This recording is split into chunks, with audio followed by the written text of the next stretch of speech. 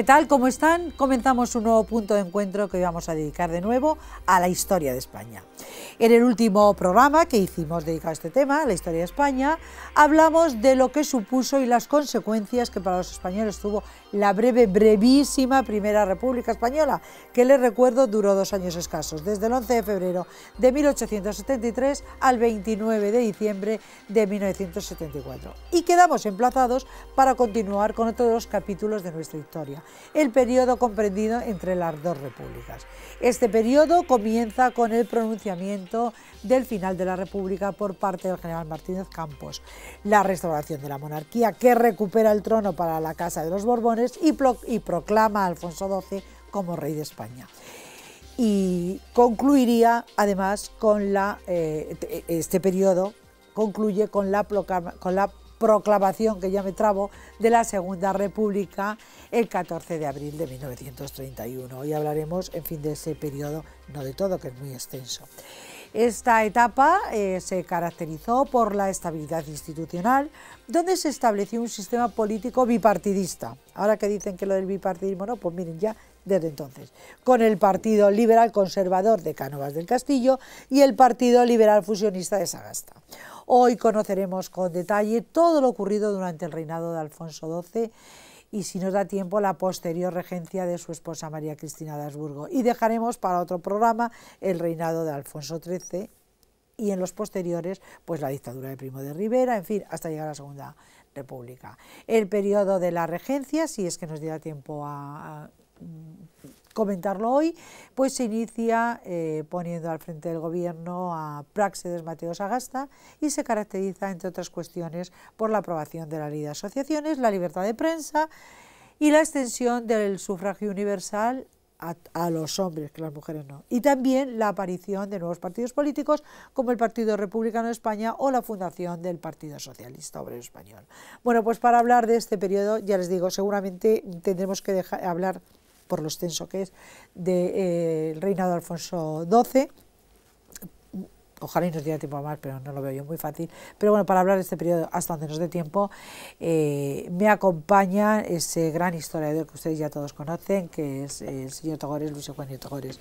Señor Togores, ¿qué tal? ¿Cómo estamos? Muy buenas, otra vez en tu casa. Bueno, yo encantada, encantada de una vez más estar, que esté aquí y además hablar de la historia de España que a mí tanto me gusta.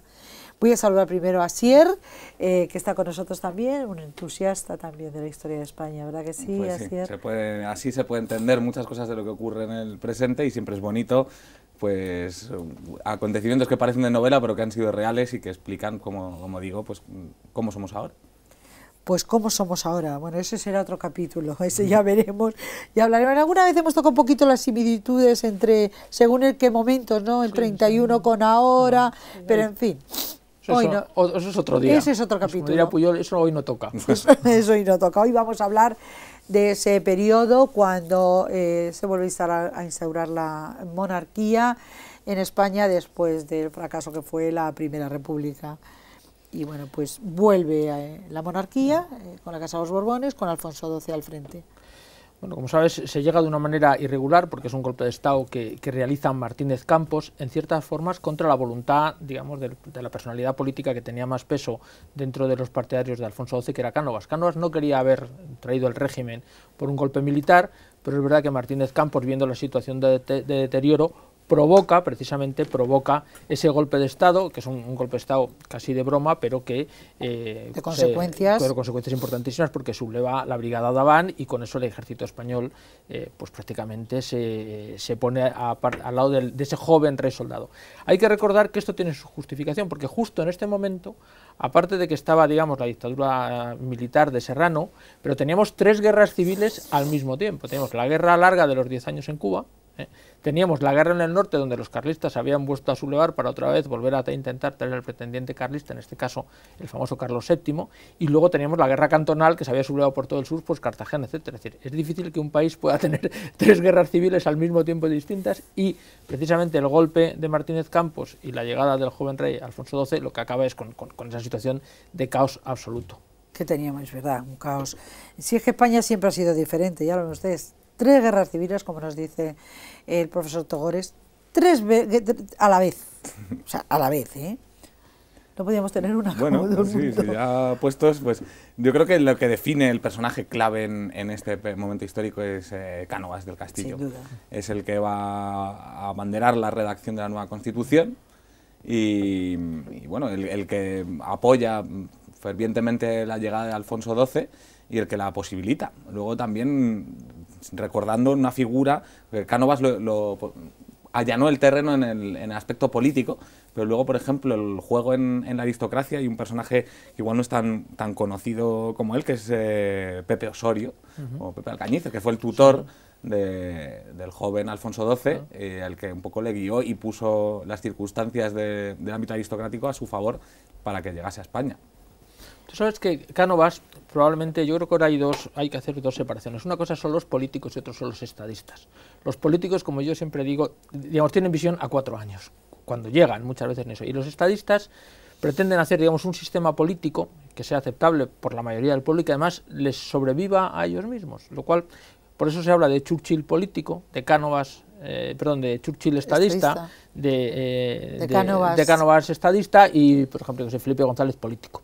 Ahora también es verdad que con comparación le estamos calificando de Es- estadista. Eso digo yo, ahora Y él, y él entonces Cánovas hace esa, esa, esa digamos, ese, ese planificación para que dure, que de hecho dura pues, prácticamente 60 años la, la restauración. Se va deteriorando, pero es un plan de 60 años. Y luego tiene cosas muy importantes. Él es el primero que trae el bipartidismo que se copia de Inglaterra. Piensa una España, como tú has dicho, que valga para todos los españoles, no Claro. solamente para un bando y para otro, sino que sea aceptable. Y además, algo yo creo que es muy importante, que está el partido de la oposición, que también gobierna de manera alternativa, que es la de Praxedes Mateo Sagasta, y cuando la oposición hace leyes y las cambia, es decir, leyes eh, normalmente también bastante moderadas y también ajustadas a derecho, pues lo que hace es que el partido de Cánovas lo reconoce y viceversa. Y eso, claro, genera una tranquilidad que prácticamente llega desde eh, la, la instauración en el 75 hasta prácticamente la guerra del 98. Entonces hace una España que, bueno, se, se convierte un poco como la España europea de la época. Y luego trae una cosa que aparte de la Constitución, que es muy importante, yo siempre con Cánovas eh, me gusta contarlo, que nadie se acuerda de él, y es que trae el Código Civil que es fundamental. Todo lo que arbitra en nuestra vida es el Código Civil, que lo trae un ministro de Justicia, que es el pobre Alonso Martínez, que todo el mundo pasa por su plaza, pero nadie sabe quién es. Pues es el que trae, con, siendo ministro de Justicia, aquí en España el Código Civil, que eso es fundamental. ¿no? Entonces yo creo que eso es lo que trae es una España vivible y habitable, evidentemente con parámetros de hace ciento y pico años, del momento, pero, pero una con España, orden, sí, pero una España España con, con orden, orden. y que bueno y que se, y se, y se van cambiando muchas cosas. Pues eso lo que tú has dicho el sufragio universal masculino eh, digamos no hay libertad religiosa pero sí es verdad que los otros cultos pueden celebrar aunque no están reconocidos. Bueno hay, hay un cambio digamos en cierta forma, si en Francia Napoleón es la, la, Francia moderna, en España la España moderna, si es que todavía la podemos llamar moderna, porque a veces parece que volvemos hacia atrás como los cangrejos, sería precisamente con la llegada Consiguen de un poco la cuadratura del círculo, pues eh, mm, logrando avances y, y- y, bueno, y medidas que eran necesarias eh, acatar, pero desde una estabilidad, que era lo que le había faltado a España ese, justo ese todos los años consenso antes. entre los dos partidos que están en el poder, que como nos decía eh, el, el profesor Togores, eh, ese entente entre ellos, ese buen entendimiento gobernar el que gobernara, hace, empieza a, a ver- a- a hacer, además de una España unida, una España próspera, porque se va asentando, La revolución hay, hay industrial. una estabilidad, digamos, sí. claro. Fíjate que además Cánovas y Sagasta no se parecían nada. Eran, eran dos seres totalmente opuestos. Es decir, eh, Cánovas era un hombre que le encantaba escribir, de hecho tiene una obra histórica y política importantísima, era miembro de cuatro reales academias, y Sagasta era todo lo contrario, era un político de calle, de, podemos llamarlo, de manifestación y tal. Y sin embargo, yo creo que, que su patriotismo y su, y su pragmatismo político, porque sabes que la política es la ciencia de lo posible, logró hacer precisamente que la restauración funcionase. ¿no? Bueno, y volviendo a Alonso Martínez, eh, un, un detalle como El de curiosidad. la plaza, En como 1886, él, eh, a in- instancia suya, eh, aprobó el matrimonio civil. Sí. O sea, en el siglo XIX, a finales. No, no sin opo- tener oposiciones a, a esa medida, pero lo logró, lo acabó logrando. Pero en aquella época se hicieron muchas cosas, ya te digo, el- sobre todo ya te digo, el cambio de estructura, la reconciliación con los carlistas, es decir, la, la- la- la guerra carlista se cierra, pero no, no hay eh, una venganza de los vencedores contra los vencidos. Y además luego hay una cosa que la gente no se acuerda, siempre se habla de lo sangrienta que fue la guerra civil. La guerra civil española fue un chiste y no me gusta trivializar, pero bueno. comparado con las represiones de las guerras carlistas. De los españoles donde nos matamos realmente a modo entre nosotros fueron las guerras carlistas. Bueno, pues tras la guerra carlista pues vu- vuelve eh, Cabrera, digamos, se normaliza la vida sin, sin que haya grandes tensiones. Los carlistas siguieron existiendo y fue un partido reconocido, eh, un partido reconocido que empezó a actuar en política y de hecho tiene un recorrido bastante grande. Evidentemente no colabora con Cánovas porque está a la derecha de Cánovas, pero Cánovas los legaliza. Y luego tiene otros, por ejemplo, como los republicanos, como Castelar, íntimo amigo de Cánovas, que pudo tener un, un papel en la vida política siendo un hombre que estaba en contra del sistema. ¿no? Es decir, sin esos radicalismos de solamente estamos los que somos de, de los dos del turno pacífico y el resto está fuera, no, él concibió un, un sistema donde todo el mundo tenía cabida. donde el consenso era una realidad y donde esa fragmentación a la que parece nos llevan en nuestros días, que ese será otro capítulo, es todo lo contrario, hay una unidad que ya querríamos ahora. ¿eh? Hombre, yo creo que había un proyecto común que era España, que eso no, no es poco, ¿no? Fue necesario Ah, esa estabilidad para tomar medidas eh, sólidas y que se implantasen a largo, o sea, con largo recorrido, pero bueno, también tenía su, su otra cara de la moneda.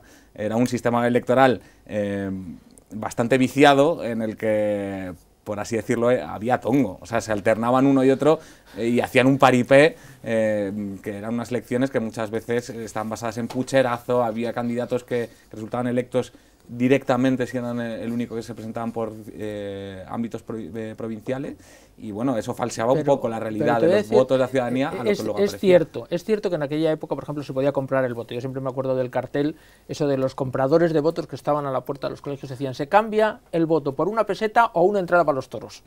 ¿no? Pero, se también- hacía dentro de, o sea, sin, sin ocultarse. era legal, no, no, Era legal, era legal. o sea, que bueno. Pero también es verdad que muchas veces en toda Europa se hacía igual. Es decir, que es que no es que los españoles fuésemos raros, se hacía en Estados Unidos, se hacía en Inglaterra, se hacía en Francia, es decir, que era, era una práctica normal que probablemente en el, si- en el modelo de la época, hombre, moralmente eh, no se puede, digamos, eh, aprobar, pero era una práctica normal. Claro, Si habéis- igual eh, apoyaban a un partido determinado y sus circunstancias a las que decía, oye, como yo te voy a apoyar, que te compro el voto, pues vale, que te lo vendo, ¿no? Ahora con la película esta de Lincoln, si os la habéis visto, Lincoln se dedica a comprar votos para eh, que se a- abolar la esclavitud. Comprando votos, lo que Sí, es literalmente, sí, "Oye, sí. si yo te doy tal cargo, tú cambias el voto. Es decir, que hace tamayazos continuos para... o sea, que, que esto demuestra que, todo- práctica- que todos tenemos un precio. Sí, depende. oye, que está todo inventado. A mí me sorprende Claro. mucho esta mm, fase de la historia de España bipartidista con, con un nuevo, otra vez un Borbón al, al frente de la jefatura del Estado que tiene muchas similitudes con, con la época después de la transición reciente en España. Sí. O sea, te- volvemos a tener un Borbón de jefe de Estado y hay un sistema eh, bipartidista, Bipartidista. en el que la alternancia eh, pues, eh, obedece casi a una connivencia de ambos Y- partidos. Y, y tiene dos, mira, tiene Bueno. dos cosas paralelas. Una, de eh, que los dos Borbones, tanto Alfonso XII como Alfonso XIII, eran dos tíos que caían simpáticos y que les gustaban a la gente. eh. Alfonso XII y Juan Carlos I. Eran hombres que les a llamarlo así, la buena vida. las mujeres, la caza, tal. Y luego la otra cosa que tiene es que los dos se casaron con dos mujeres que no se querían casar. Es que se casaron para asumir el, digamos, la- la obligación del trono. De hecho, ya sabes, tú que has citado antes Alcañiz, después que muere María de las Mercedes, que fue el gran amor de Eso Alfonso iba a decir, XII, Alfonso XII se casó con la mujer que se quería casar. Sí. Lo que pasa es que le vivió poco. Sí, pero bueno, eh, Es te verdad, pero que era, fue- era fue- la hija de Montpensier, eh, hijo, Claro. nieta de, de Luis, Luis, eh, del rey de Francia, Luis Felipe de Orleans, pero que además eh, con eso a su padre lo tranquilizaba, que era el gran conspirador que había tirado a su madre y había hecho todo. Pues se casa con, con María Cristina y cuando va a verla a Alcañiz, con Alcañiz a, a- a San Sebastián, que van a Biarritz, le dice, "Ah, ¿y qué te ha parecido? Y dice, hombre, pues entre la madre y la hija me quedo con la madre. ¿no? Bien, es decir, que en cierta forma fueron figuras, María Cristina, yo creo que hay un cierto paralelismo entre María Cristina y, y la reina Sofía, ¿no? porque bueno, son dos mujeres que les tocó el cargo eh, y asumieron su papel de reina, yo creo que con bastante dignidad. María Cristina más fue regente Ma- eh, y la reina fue, Sofía, ¿no? eh, Pero mucho más hay, un cierto paralelismo. De todas formas, estamos hablando del resto de personajes que, que la historia ha situado ahí, pero del papel del rey eh, poco hemos comentado, ¿no? El rey Alfonso XII, a excepción de este Mm. pequeño comentario. Hombre, él, él, se concibió una cosa que ahora no tendría sentido, aunque sigue siendo así, que es, era un rey soldado, es decir, un rey que fue a las, había estudiado en las academias militares, era un rey que siempre iba de uniforme, que además un rey que Cánovas pensó que fuese soldado precisamente para que el ejército se domesticase y dejase de entrar en política, cosa que logró. Luego además es lo que estaba de moda, es decir, los, los, los, no hay ningún retrato ni ninguna foto ni nada de Alfonso XII vestido de paisano, está siempre vestido de uniforme, pero era la moda. Luego, y además se diseñó, digamos, para que, para que tuviese eh, cierto atractivo. Y la verdad es que, es que lo tenía. Es decir, él dejó gobernar a, a Cánovas, se dejó gobernar a Sagasta. Era un hombre que cuando tuvo que cumplir su papel, yo creo que eso sí que le asemeja más a Felipe que a, eh, que a Juan Carlos. Eh, pues cuando se tuvo implicaba. que fue a la guerra del norte. Yo muchas veces, es decir, yo creo que Juan Carlos fue, por ejemplo, cuando fue a la Marcha Verde en el 75, pero fue para dejar al ejército la estacada. Eh, que, que, era lo que por cierto había que hacer en aquel momento, pero fue a dejarle estacada. No, él va a la guerra del norte a ganar la guerra. Él eh, tiene varios atentados y, los, y los, los, lleva con dignidad. Él, de hecho, muere, porque cuando hay la famosa mm, eh, peste en la zona de Aranjuez y tal, él va y precisamente por ir a, a, a atender y ver a los españoles, eh, coge una enfermedad. Luego también era un verdad que era un señor que se escapaba por las noches de palacio y, y nos ha dejado una, una, cantidad de anécdotas, que siempre se cuenta la misma, que es muy buena. Sale de palacio y va regresando de noche solo y se encuentra con un señor por la calle, iba, iba charlando por la plaza de Ramales y tal, y dice, ¿dónde va usted? No voy allá a Palacio y tal. Cuando llegan, se van a despedir ya a altas horas de madrugada, dice, bueno, pues nada, aquí tiene usted su casa, Alfonso XII, y dice otro, bueno, pues el Papa de Roma. no se puede imaginar que el rey salía de farra por las noches. Bueno, pues es que con... ya sabemos que los Borbones siempre sí, les ha gustado la vida noctámbula. A ver, que es una forma de conocer el pueblo. Sí, y Entonces, estar en la realidad. ¿eh? Claro, claro. Si tú sales de incógnito por la calle, además, en aquel entonces no es como ahora, que en fin los conoces, que tienes medios sí. para conocer mucho más al rey, entonces las fotos del rey y poco más, ¿no? Eh, el rey y por la noche, sí, sí. Pues, o sea que bueno. Sí, hombre, la, bueno, aquí ya sabes que decían que de nuestro rey anterior que lo veían en moto cuando se levantaba el casco el ca y se lo, lo encontrabas en la calle Goya, yendo en moto. Es decir, que bueno, yo creo que el estilo está claro un estilo de cercanía, en fin, gente que estaba con su pueblo. La verdad es que a mí me parece que Alfonso XII jugó un papel muy relevante en la... En, en, o sea, fue una época en la que, bueno, pues a él se le asume como, como jefe del Estado, él deja gobernar, pero también se implica. Vamos a ver, primero él llega jovencísimo, porque realmente llega 17 vamos, años, ¿no? Sí, Cuando firma el manifiesto. En, en, aquella era un, en aquella época era un hombre, pero hoy día, vamos, no le dejaremos ni sacar nuestro perro a pasear. Sí, porque hoy día un chico de 17 años casi todavía no es un hombre, en aquella época sí. Pero sin embargo tiene el criterio de unos reyes que podían gobernar mucho y que nos olvidamos que en aquella época el rey no es como actualmente, podía disolver las cortes y disolver el gobierno. Él se deja, digamos, dentro de lo razonable, asesorar. aconsejar, asesorar y gobiernan sus jefes de gobierno. Es decir, él realmente coge el papel de rey y deja que, que la, responsabilidad del gobierno del día a día nos llegue en Cánovas o Sagasta que también es verdad que, por ejemplo, a Alfonso XIII no le pasaba. Alfonso XIII de vez en cuando le gustaba ir más allá de los papeles puramente de rey, donde le gustaba cambiar gobiernos, está la dictadura Primo Rivera, él tenía su camarilla, lo se llamaba donde, el diván, donde, donde hacían cosas pues, como lo del expediente Picasso y la guerra de Marruecos. Y yo creo que él fue un hombre bastante ponderado. Además tuvo una desgracia que para los historiadores está muy bien, como murió muy joven, pues no le dio tiempo a hacer nada. A, hacer nada. A, lo mejor, a lo mejor no lo hubiese hecho nunca, a lo mejor se hubiese equivocado, pero claro, con una vida tan, tan relativamente corta como la suya, que son casi un, no llega a 12 años, son 10, pues realmente tuvo o, acabó con las tres guerras y, y, la verdad es que tiene un, yo creo que es una de las figuras de la historia de España, tanto él como María Cristina, dos figuras de la historia de España muy, muy más que defendibles, sobre todo en un siglo Aunque XIX. para el pueblo, la unión de él con María de las Mercedes, para el pueblo llano, por la connotación las que películas, tiene. Hombre, no, ¿Cómo se llama la película aquella? ¿Dónde vas, Alfonso claro, XII? Eso influye claro. mucho, pero es que es verdad sí. que fue el gran amor de su vida sí. y, y, jugó un papel relevante. ¿Sabes, Córdoba se murió muy ¿sabes por qué muere, no? Ella. María de las Mercedes, el palacio que tenían, que es el famoso palacio del Montpensier en Sevilla, tenía un problema, dicen, que es que las aguas fecales se unían con las aguas que bebían. Se decía que era la maldición de los Montpensier, y no, era un problema que, claro, al final La cogía... Claro, entonces al final, y muere de eso, realmente. ¿Cierto? Eso muere que el gran amor de su vida, siendo también una, una criaja de, que no llegaba a menos de tenía 17, 18 también cuando muere.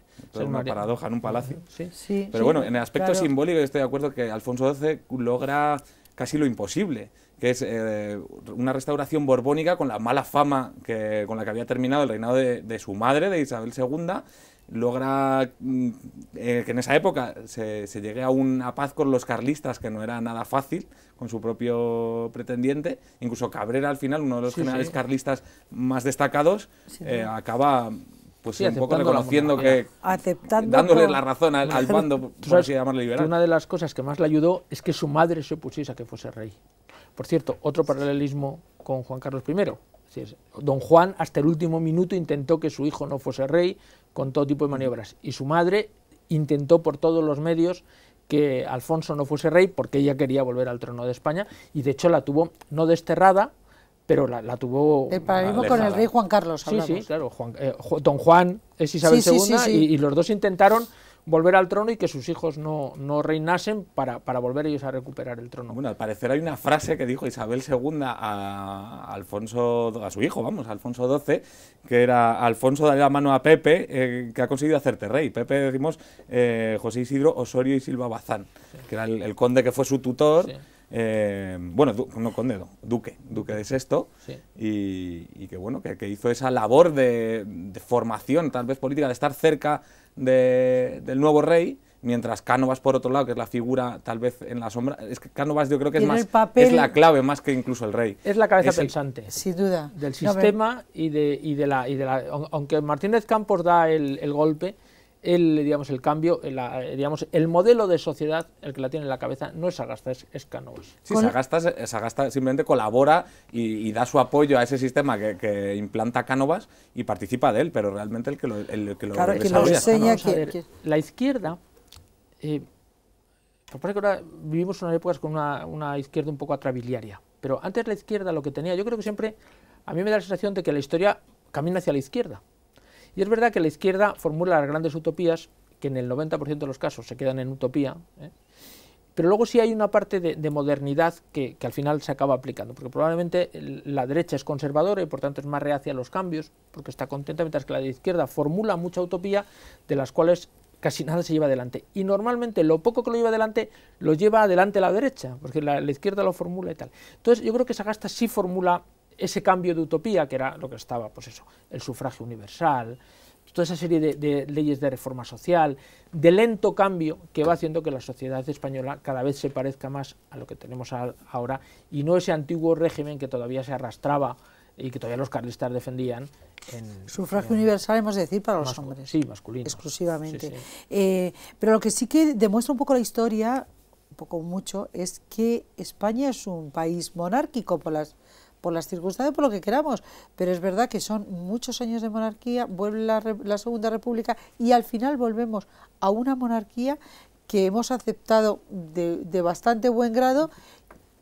o por lo menos eh, a mí me parece Bueno, que... son pa- aquí porque el poder lo, lo- lo toman en manos los partidos din- dinásticos, el de Sí. Cánovas y Pero y Sagasta, no era, pero pero también Sagasta no era dinástico, eh, o sea, no era no monárquico. era monárquico, pero también lo acepta, o sea que sí, los partidos les denominan así porque aceptan o son los garantes de, de ese nuevo Quizá sistema por las que- experiencias que las dos repúblicas eh, que las repúblicas han marcado, no sé, ver, yo, yo pondría dos cosas. Uno, todos los países del mundo prácticamente eran monarquías, salvo Francia y Estados Unidos. Entonces, la monarquía era el sistema, el sistema sí, sí establecido. Y luego yo creo que los españoles somos no Don Quijote, sino Sancho, a pesar de lo que siempre se diga. Es decir, al final hay un sentido común, un seni catalán, si queréis, un posibilismo que dice, bueno, nosotros no queremos esto, pero esto es, me- esto es lo que va a funcionar. ¿no? Y bueno, pues eh, frente a la utopía que a lo mejor nos amarga la vida, pues como Sancho, la monarquía está, bueno, no, no es lo ideal, pero funciona razonablemente bien, funciona razonablemente bien con Isabel II durante una temporada, funciona con Alfonso XII, funciona luego con Juan Carlos I y ahora con Felipe. Y bueno, con sus luces y sus sombras, yo creo que ese, ese Sancho que tenemos dentro es el que hace que, que al final mucha, mucha gente que no es monárquico a- acabe siéndolo en la práctica, que es lo importante. Bueno, a modo de apunte, que en estos No, no, momentos es- también, no nos que simplemente por recordar, que también es cuando se funda el PSOE, E, el UGT, el, el PNV, fuerza. Pero hemos dicho que sabíamos que no nos iba a dar tiempo y que ese será el próximo programa hasta que lleguemos a nuestros días y, y llega un momento en que, eh, bueno, pues que la historia nos demuestra que al final, eh, se- será porque somos anchos, pero la monarquía es la que mejor nos está fu- funcionando. De hecho, ahí está la, el- hemos tenido dos repúblicas y han acabado Sí. como han acabado. O sea que, de la Aurora. Efectivamente. Eh, lo que pasa es que hoy no tenemos tiempo para más, hemos llegado al final de- del programa. Yo le agradezco muchísimo al profesor Togores que haya estado con nosotros una vez más, le emplazo Yo- yo a vosotros. ya a la vuelta del verano y, y bueno, pues lo vamos a hacer porque esto ha sido una primera experiencia que ha gustado mucho a nuestros espectadores que tendremos que consolidar y darle eh, forma. Esto no va a ser así como... de- ¿Qué tal, profesor? ¿Cómo le viene? No, no, vamos a tratar de hacerlo mucho más ordenado para que eh, eh, sigamos conociendo nuestra historia. Así que muchísimas gracias, buen verano, Lo mismo os deseo. nos vemos a la vuelta. Muy bien. Un abrazo. Eh, un abrazo. Gracias a Sier, como siempre, Un y placer. te sigo viendo. De ustedes me despido, no sin antes recordarles nuestra web www.puntodencuentrodigital.es, nuestro correo comentarios arroba punto, dig- punto de encuentro digital.es. Y ya saben que también nos pueden seguir a través de streaming todos los días en Libertad Digital TV. Gracias por acompañarnos un día más y ya saben, aquí les espero un saludo.